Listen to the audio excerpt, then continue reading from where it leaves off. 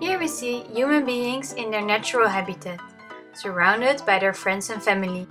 They are connected and move simultaneously. Suddenly, something happens. Our human being is disconnected, ripped out of his natural environment. A typical situation in which this occurs is when someone has an eating disorder.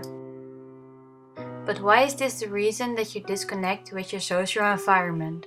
What is happening? Well, you can compare it with having socks. First you have two socks and you're perfectly in balance.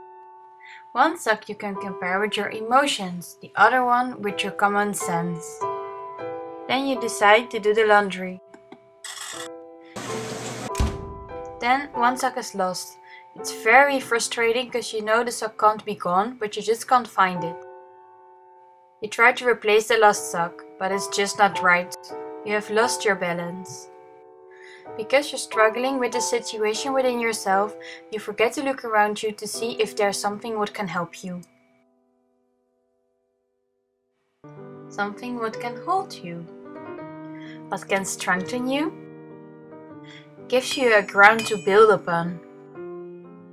Makes you feel normal Something what can distract you in difficult situations. But most of all, something what can give you the motivation to beat the eating disorder. So what is this magic tool what prevents me from falling into the endless hole of this disease? It's simple. It's all in your network. You already have it. You only have to use it. Yeah, very nice, but I'm still lonely Are you sure?